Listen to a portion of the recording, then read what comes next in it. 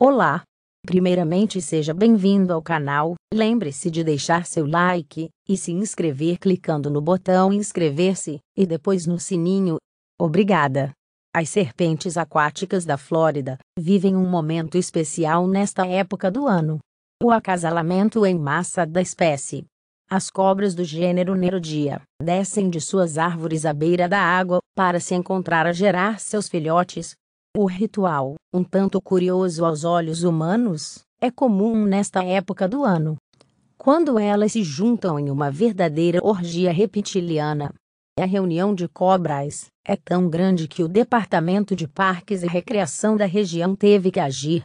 As ligações de visitantes do Lago Linguart, no centro da Flórida, eram tantas que funcionários tiveram que emitir um comunicado no Facebook, tranquilizando as pessoas e explicando que as cobras estão ali para acasalar.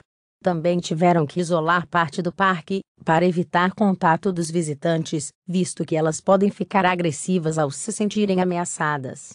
Porém, as cobras são livres de veneno. Fonte Jet Imagens barra reprodução, acasalamento gera dezenas de filhotes. As serpentes aquáticas que vivem na Flórida passam a maior parte do tempo de aquecendo nas praias ou enroladas em galhos de árvores próximos da água. De temporada em temporada, no entanto, descem para a procriação. Geralmente, elas dão cerca de 60 filhotes de cada vez, medindo entre 18 e 28 centímetros. Depois que o acasalamento termina, cada uma segue para um lado, espalhando-se pela Flórida, Alabama e Virgínia. Você gostou deste vídeo? Então comente na seção de comentários abaixo.